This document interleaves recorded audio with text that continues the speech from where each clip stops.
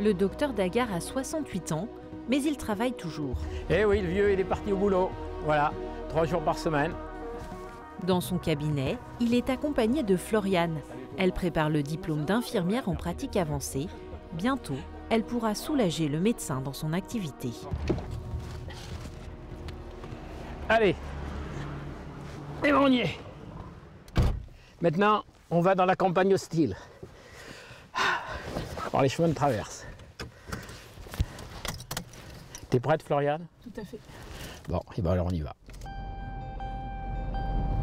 On s'en va vers la tempête, là. Ouf.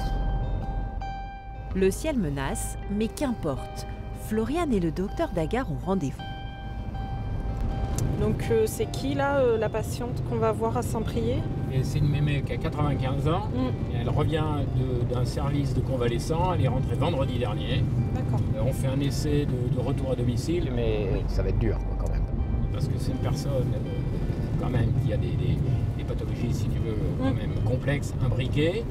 Un médecin qui se déplace à domicile, c'est rare. Mais si le docteur Dagar a continué de travailler, c'est aussi et surtout pour venir en aide à ceux qui en avaient le plus besoin. Moi, c'était impossible que je, que je m'échappe, si vous voulez.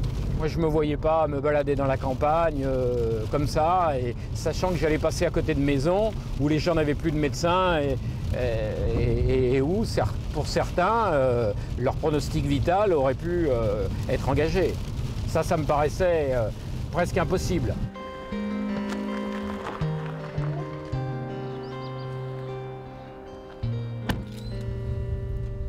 Alors, ma chère Fernande, vous êtes encore là Et ben nous aussi. Bonjour, Hein Madame bon, alors je suis attendez voir. Floriane. Ah oui, oui, je. Voilà. On allumez s'est un on peu s'est quand jamais vu. Fernande est suivie par le docteur Dagar tous les trois mois. Il y a quelques jours, elle a fait un coma diabétique qui aurait pu lui être fatal. Alors qu'est-ce que t'écoutes Parce que maintenant t'es très forte. Bon, on a une belle arythmie là quand même. Voilà, hein. voilà. Elle a une arythmie.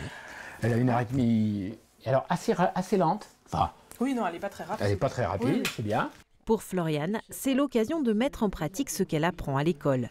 Elle va vérifier que l'artère poplitée n'est pas bouchée. Cette artère amène le sang jusqu'au pied. Alors ce fameux poplité, il n'est pas facile à trouver. Non.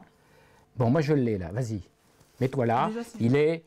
Voilà, là tu dois y être là. D'accord. Voilà. Euh, mais- mais pas trop comme ça. Fais- appuie plus Sur le plat avec la, sur le plat, mais tu peux pas appuyer fort. Et puis Ah, tu oui, relâches. Tu l'as, tu vois Oui.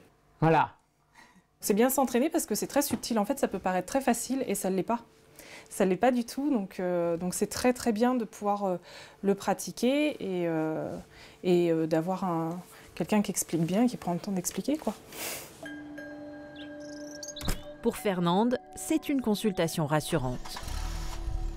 Une fois diplômée, Floriane pourra remplacer le médecin dans certains de ses déplacements.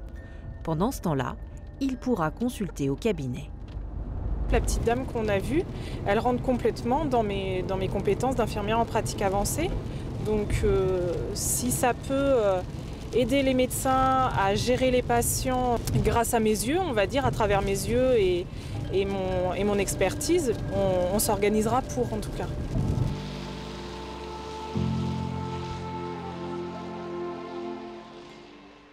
Non loin de là, Agen, le petit village où les médecins se relaient. Pour le docteur venu de Bretagne, la semaine touche à sa fin. Merci beaucoup. Allez, portez-vous bien. Au revoir. Au revoir. Merci, au revoir. Au revoir. Et voilà, c'est fini. Enfin, pas tout à fait, parce qu'il y a encore euh, toutes les biologies à regarder. Grâce à lui, une centaine de patients a pu avoir un rendez-vous médical. Beaucoup de patients euh, étaient sans médecin pendant longtemps et du coup, euh, ben, on laissait euh, malheureusement évoluer une pathologie. Euh, et donc ils arrivent avec une pathologie très évoluée, voire vraiment très très très très évoluée. Euh, et ça, c'est quelque chose que je vois assez rarement dans mon exercice habituel. Pour une semaine de travail, il a été payé 800 euros, deux fois moins que sa rémunération habituelle. Ouais. Étienne, Ouais. on a quelque chose de très grave. Mince, qu'est-ce qui se passe Très important, nous ne sommes pas contentes. Non, rien. C'est un petit souvenir qu'on te Ah. parce que l'association t'offre. Bouge ton coq et Génial. médecin solidaire. Voilà pour ta semaine passée avec nous. Bah nous, ça a été un plaisir. hein. Oui, plein de bonnes choses.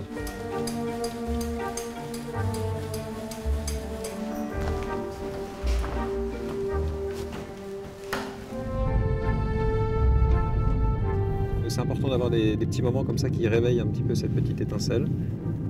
On se rend compte que c'est vraiment un beau métier, qu'il y a vraiment du sens, euh, on est vraiment fier de se lever le matin pour faire ce métier.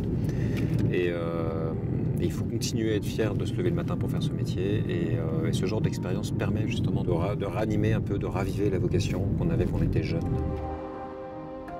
Le docteur Maes part retrouver sa famille à 500 km d'Agen. Le petit village s'endort sans médecin.